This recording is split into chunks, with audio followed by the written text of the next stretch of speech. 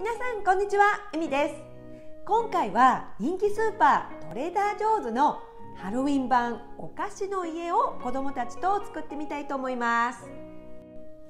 アメリカのハロウィンの時期はかぼちゃ狩りをしたりジャック・オ・ランタンを作ったり仮装したりして楽しむのが主流ですが家族やお友達と一緒にお菓子の家を作ってハロウィンを楽しむ方法もあります。ホーンテッドハウスチョコレートクッキーハウスセットは毎年9月ぐらいから期間限定でトレーダー・ジョーズというお店で販売されています。クリスマスにアメリカのスーパーでジンジャーブレッドハウスをよく見かけますがそのお菓子の家をハロウィンの時でも家で作って楽しめるというオリジナル商品です。必要な材料は全て含まれていてチョコレート味のクッキーとアイシングコウモリや骨型のキャンディーグミがセットで一式入っています。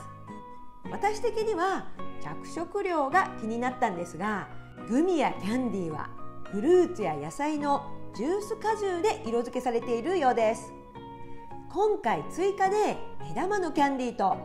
トレーダー・ジョーズの秋の収穫チョコレートそして板チョコを足してみました。まずクッキーをパーツごとに分けます。そしてアイシングを接着剤代わりにするので手でしっかりほぐし柔らかく滑らかな状態にします。その後アイシングバッグの先端にハサミで小さな穴を開けます。クッキーをテーブルに並べまずベースとなるクッキーに描かれた線に沿ってアイシングを絞っていきます。次に家の壁部分になるパーツのクッキーの裏側にアイシングを絞ります。裏側は線など描かれていないので多めにアイシングを塗っていきます。家の壁部分をベース部分のクッキーに差し込み壁と合わせて接着します。溝が浅いので差し込むというよりかはそこに合わせて壁のクッキーを立てるという感じです。横の壁を斜めにくっつけるので結構苦戦します。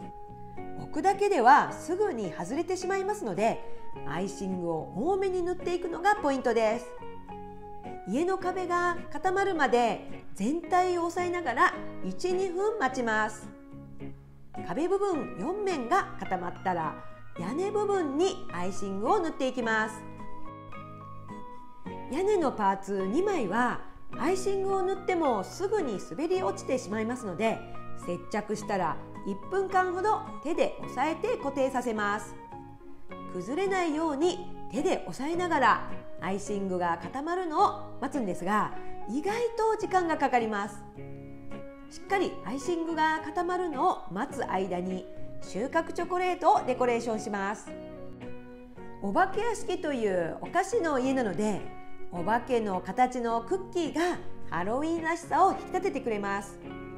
トレーダー・ジョーズのオーガニックダークチョコレートはコクがあって甘さが控えめなので子どもの希望で屋根部分に塗っていきました。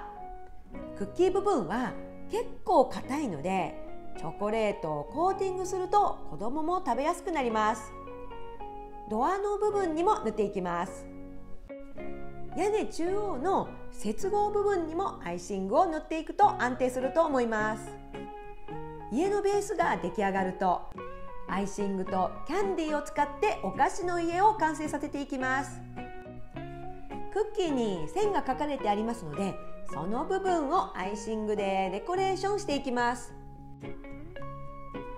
オレンジや紫などのカラフルな色がハロウィンらしいですよね。アイシングは多めに入っているのでデコレーションにたくさん使います。家のお庭部分もチョコレートをコーティングしてみました。最後にお化けのクッキーとかぼちゃチョコレートを飾って完成です。クリスマスのお菓子の家とはまた雰囲気が違ってとっても可愛らしい仕上がりとなります。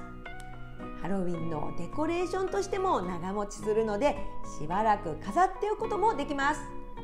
最後までご覧いただきましてありがとうございました。また次の動画でお会いできれば嬉しいです。それでは失礼いたします。